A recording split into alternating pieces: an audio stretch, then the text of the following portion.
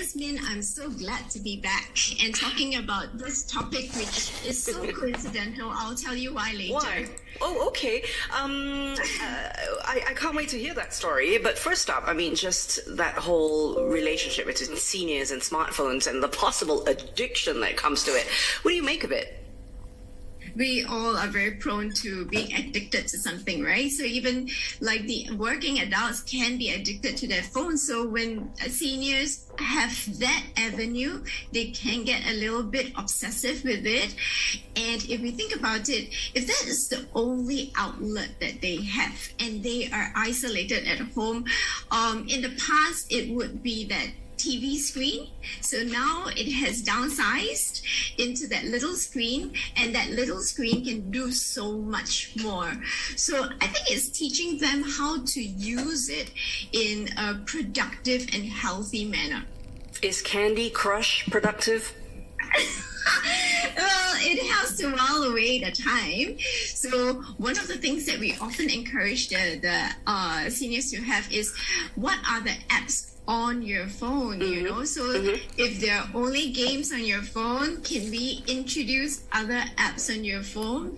Um, and we want to cover different uh, different things. So connecting with their friends, you know, um, maybe learning something new. So you want to expand and have them explore a little bit more um, what they can do with their phones and their applications on their phones because sometimes they're not familiar and they only know Candy Crush.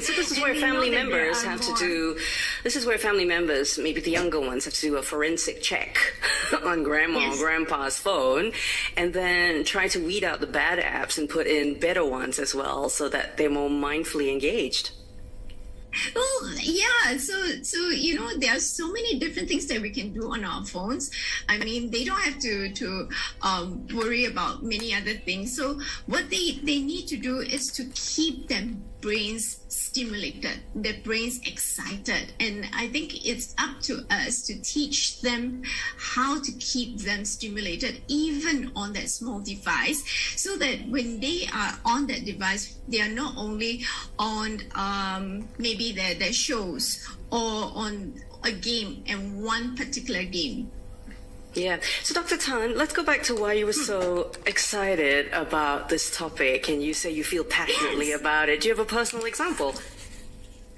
I, because it was so um, interesting that when um, the request came to to come on air, really really honored to come on air with you. Um, the it, it coincided with our uh, my my uh, team. We are doing something for the seniors mm-hmm. this afternoon. Oh wow! And, what? Um, yeah, yes. So you know, I, I always say that you know, you, the, how do we bring this idea that psychologists or coming for mental well-being sessions are not scary? Mm-hmm. And um, I thought I've been talking so much about it. Why not do something about it? So today for the first time uh, is a, a, therapy room initiative with Yong An Elder Care Center. We are doing a mental health checkup for the seniors okay. and it's going to be a six monthly mental health checkup so so exciting it's, and it's going to be virtual it's going to be virtual. It's okay. going to be virtual. So we are talking about, you know, the use of the devices. Many of these seniors have been taught how to use um, the Zoom mm-hmm. on the devices, and they will be connecting with us virtually while we do a mental health screening for each one of them. And how do you prepare for mental health screening for seniors apart from maybe brushing up on language, dialect, things like that? The questions you you ask, are they different from the ones that you are, say, the younger age groups? we have a battery so being psychologists we have a lot of different surveys. Uh, we we have a, a, set a battery of surveys to do with them so we will have standardized questions to check in with them.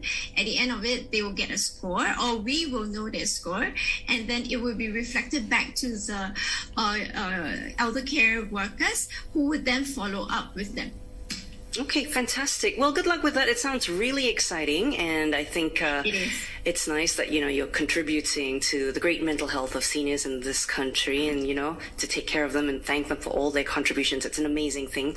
So, Dr. Tan, on top of your job as a psychologist, you're also yes. working with a few organizations to conduct critical incident stress management. What is all that about? CISM. CISM. So sometimes, sometimes when um, an event happens that is very sudden, very unexpected, and um, extremely shocking. Uh, the the whole entire team or the organization or the space or even a nation can go into shock, and and there would be trauma. They don't know what to do, so people might not know what to do. That's when we go in and we work with them. We process it with them so that some level of functioning can occur and start to resource them to different areas. All right, fantastic. I hope that yes. initiative's going well. We're going to take a break here and talk about mental health and perhaps the stigma around it and your ideas on how to reduce that. So we still need you. Please hold on. Dr. Geraldine Tan is director and principal psychologist at the therapy room. I'm Yasmin Jonkers for the Double X Files go to the topic about mental health and the stigma around it. Let's get the thoughts of Geraldine Tan. She's Dr. Geraldine Tan, by the way, director and principal psychologist at the therapy room. Dr. Tan, I know this is a big thing for you. Uh, in July, Education Minister Dr. Chan Chun Sing said we should not stigmatize those who come forward to seek help. You're a big believer about this as well. Talk to us about this. Yes, I I think that whole idea about only when you're sick you go to the psychologist or to go to a doctor, I am um, wanting to break that, and I want everyone to come in for a six monthly review. You know, just like how you go for your medical checkup, you go for your dental health checkup. It should it should be the same for your mental health also, um, and you know we shouldn't be afraid to talk about about it. So the more we hide, the more repressed, you know, our emotions are, um, it will come out some way, somehow, in not a very pretty manner. Mm, yeah, the stigma. Let's not put it. Let's not put it down. Yeah. What are some of the misconceptions that people have about mental health? Um, that you know, uh, those with uh, those that have a diagnosis are crazy that's not true. It can happen to anyone, and it is like a cough and cold. You know, it is not uh, contagious because many people think if I hang out with this person, will I also get the disease? Like no, COVID. there's no disease. no, it doesn't happen that way. Um, other things would be, you know, uh, parents. I hear parents saying don't hang out with certain children because uh, they they are not good influence, especially if someone actually is really down and very um, heavy. Their moods are very heavy. You know, you hear parents dragging their children away from this particular child, which is very very sad all those with special needs they think that you know the, the special needs children have a disease that you know um and, and and should be kind of isolated which is not true i wonder where these i don't know rumors come from well I think it's because um, if we don't understand what it is, mm. we tend to be very frightened. We tend to be very scared of the unknown. So talking more about it brings more awareness and we are not so afraid. So if you see a child that is autistic um, and you had uh, you don't know what it is, you might think that child is violent, which is not true.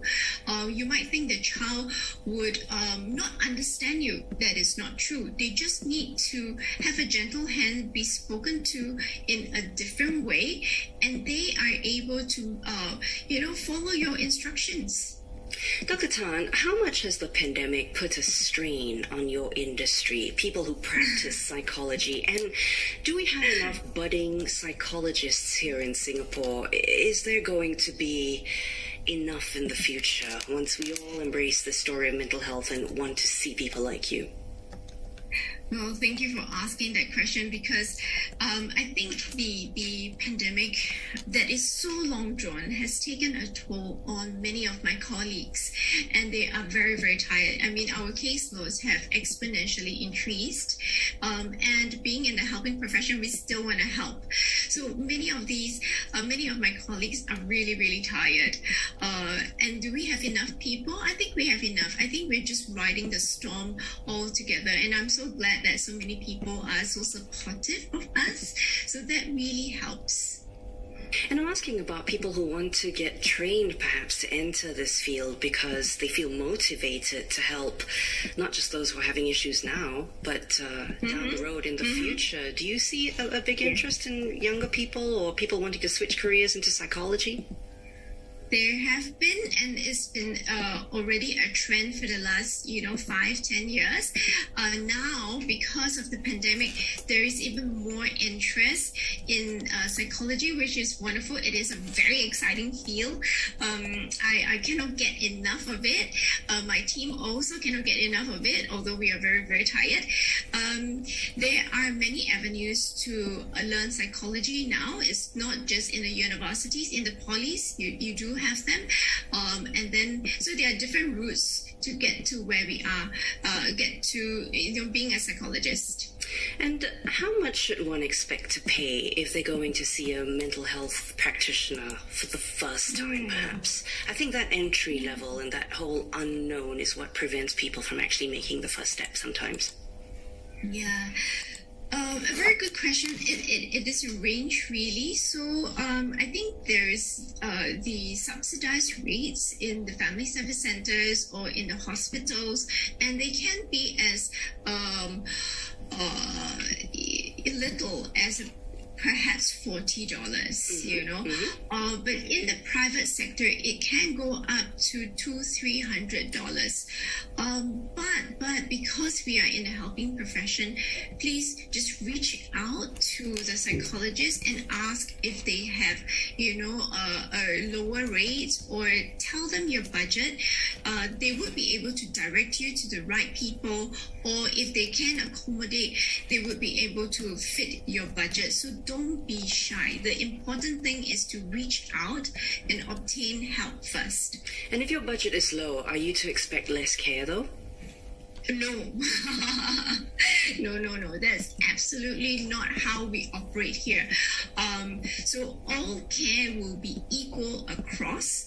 Um, and you know, if let's say you are in a, a you go to an organization where you have to pay lesser, it doesn't mean that your care is less or the quality is poorer. It just means that they have more funding or they have more ability to give it give you at a lower rate.